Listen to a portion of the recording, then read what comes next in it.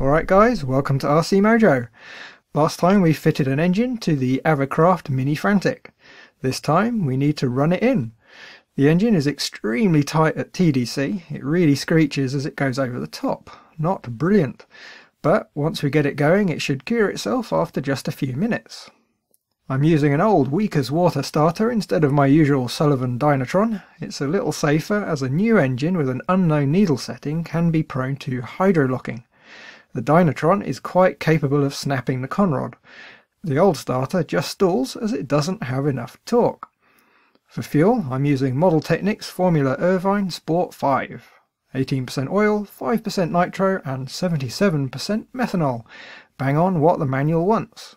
It's also got a nice colour so you can see the level in the tank.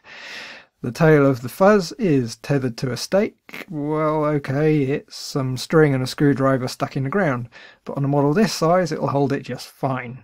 The main thing is, if something goes wrong and it throttles up, it can't go anywhere. Okay, so the tank's full, radio's checked, plug tightened, glow lead attached, but not powered.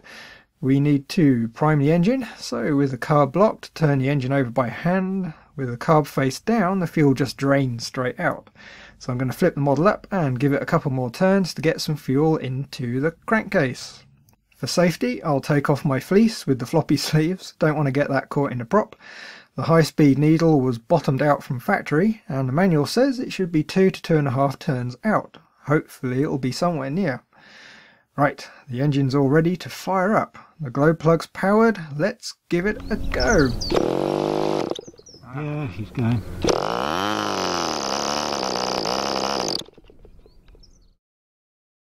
Okay, so it ran through the fuel we got into the crankcase, then stopped. This would suggest the engine isn't able to draw in fuel, but it did run, so we should be onto a good one. So what we have now is a couple of minutes trying to get the engine to draw fuel when running. One highlight is the prop coming off. It tends to happen if the engine is flooded and backfires. The crack will loosen the nut and the starter will unscrew it. This is exactly why I always wear a pair of glasses when starting engines. A long time ago I got a good smack in the eye with a prop, which wasn't a lot of fun. Anyway, not long after I got the engine to run. Yay!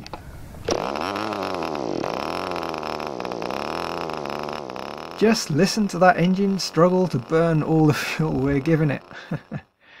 the needle ended up way out, nearly three and a half turns. This isn't of course the final setting, the balance at this stage is between keeping the engine nice and warm and having loads of fuel and therefore oil running through the engine. It ran like this for about 8 minutes before it ran out of fuel. You can hear it lean out just before.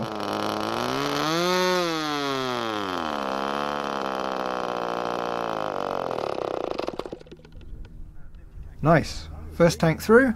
Now it needs to be left for a couple of minutes to cool off. No prizes for guessing what comes next. We can pump in some more fuel, start it up and go again.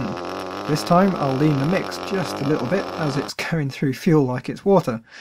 Going to skip ahead as watching an engine for 10 minutes isn't the best footage. And let's try letting it idle. Not bad at all. Okay, we'll let it cool off again. And fuel up and now we should find it will start up almost right away. Nice. After 15 minutes or so of running, it should be fine to lean it off a little bit more. We still want a nice burble, nice and rich. Then of course, let it run for another 10 minutes. And while it's doing that, let's have a closer look at the model. If we go around to the tail, you can see a little issue that comes with glow over electric. Due to the vibration, the fin is having a little bit of trouble. Doesn't show up too badly in the video, but it really goes for it when it hits resonance. I'll probably put on some carbon flying wires to support it, as that really wouldn't be a good one to lose in flight.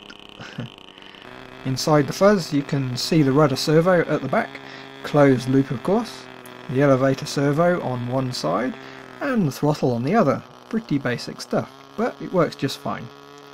So I'm going to let the engine run the tank out, fuel up, and I'll bring you back once the engine is set in a rough tune.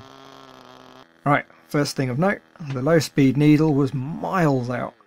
I set the high speed needle at full throttle for a rich but smooth running engine, Then, when backing the throttle off, it would flood bog down at around one third throttle. This meant the low speed needle was rich. Turns out it was around three quarters of a turn rich, and for the low speed needle, that's an awful long way off. Anyway, the engine is still, of course, running nice and rich, but let's see what it sounds like.